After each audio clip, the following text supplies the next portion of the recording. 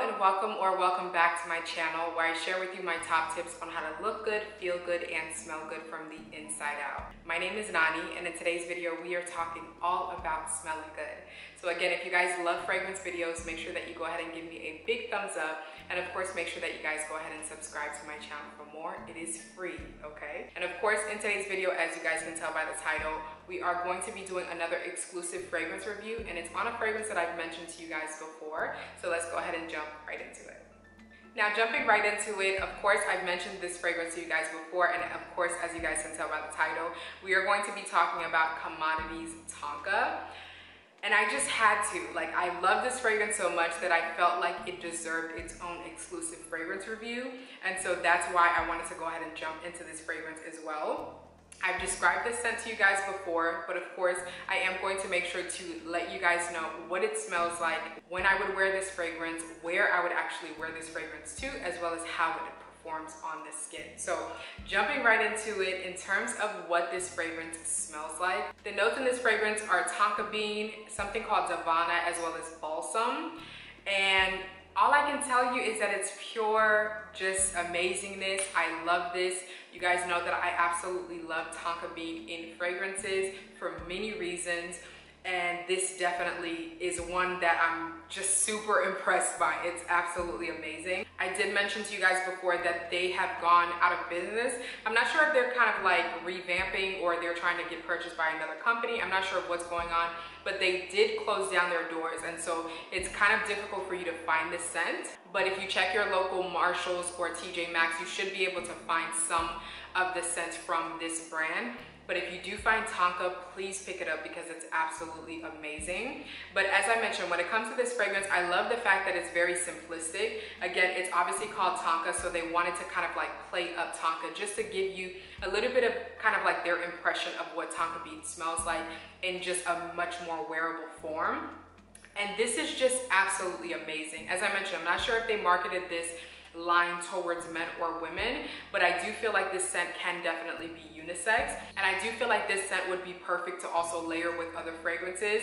The only thing is that this is such a potent fragrance that I feel like it would be difficult for you to layer it with scents that are like softer. So this would be one of those things that I would recommend that you use if you are trying to add a little bit of a richness, a depth, a, a little bit more of a character to a scent that's a little bit kind of like bland in your collection.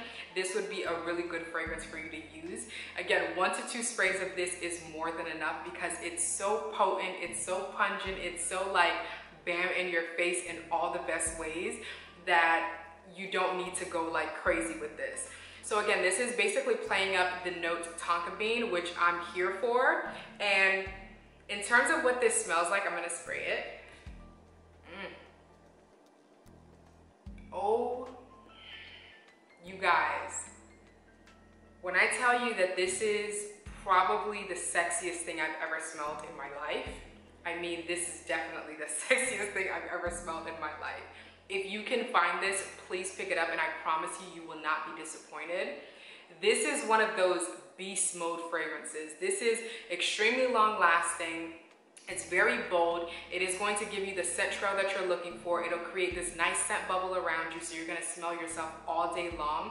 It's a little bit kind of like gourmandish just because it's obviously tonka bean and you know that tonka bean has like vanillic and caramelic type of um, overtones. And so it's a little bit creamy, it's rich, it's dense, it's dark. This is one of those scents that I feel like it's such a dark, deep scent that it's a bit sexual to me. I feel like it definitely is one of those very, very sexual scents.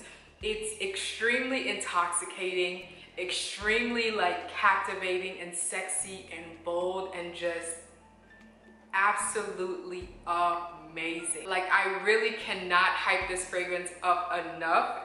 And I'm so mad that they're going out of business. I'm sure that they're more upset than I am. But at the same time, I feel like I'm so upset that they're going out of business because now it's a little bit more difficult for me to find some other fragrances from their collection.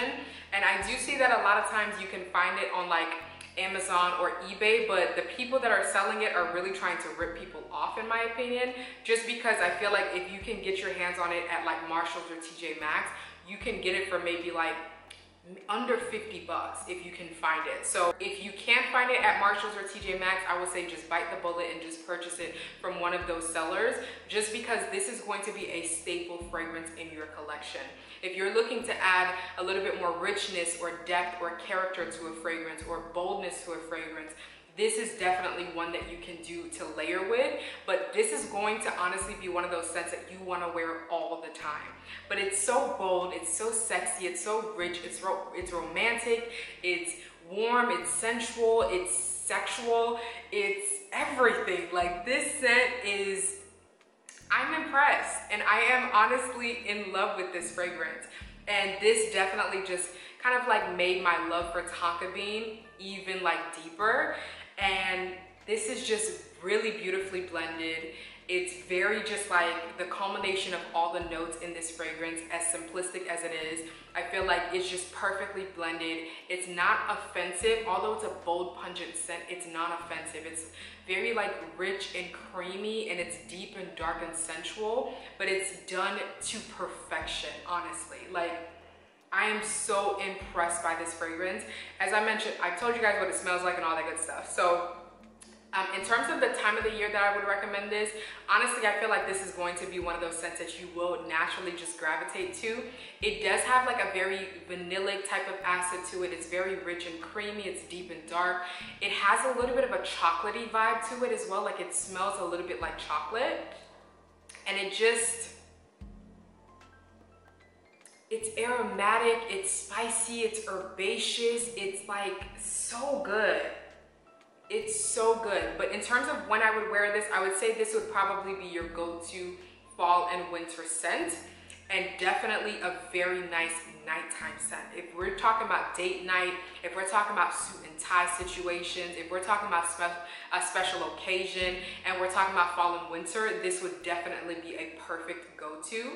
Um, in terms of wearing this during the daytime, I think that you could still definitely get away with wearing it during the daytime, but it's such a special, bold, pungent scent that I feel like you have to wear it appropriately. This would not be one of those scents that I would recommend that you wear as like a casual thing. I feel like if you wear it casually, you're kind of dissing this fragrance, just, just in my opinion. Again, do what you want, wear it as you want to, but I feel like it's one of those scents that are just so bold and pungent and just so unique that you're going to wanna it's going to inspire you to dress up, if that makes sense. It's going to inspire you to want to go out. It's going to inspire you to want to get out of your shell. It's going to inspire you to just like be a little bit more bold yourself. So I absolutely love this fragrance. As I mentioned, if you guys can find it, please, please, please pick it up. And if you guys have this already in your collection, let us all know down in the comment section below how you feel about it. Obviously fragrance, you know, the smell of fragrance and how you enjoy a fragrance is very subjective. But let me know how you guys feel about this if you currently have this in your collection. And if you've been trying to figure out if this is a good fragrance to purchase, pull the trigger, please buy it, you will not regret it. So that's gonna be pretty much my final thoughts on this fragrance. Again, it's so bold, so sexy, so aromatic, just so deep, dark, sexual, just like a very, very sexy scent. It's absolutely amazing and it's extremely long lasting as well. So if you are looking for something like that and you see this, please make sure that you go ahead and pick it up. And as I mentioned, if you already have this in your collection, let us all know down in the comment section how you feel about this fragrance as well. But those are going to be pretty much my final thoughts. Again, if I can find some links for you, I will make sure to leave it down in the uh, description box below. But again, thank you guys so much again for tuning into another video. If you enjoy these fragrance videos, make sure that you go ahead and give me a thumbs up. And of course, make sure that you guys subscribe to my channel for more content like this.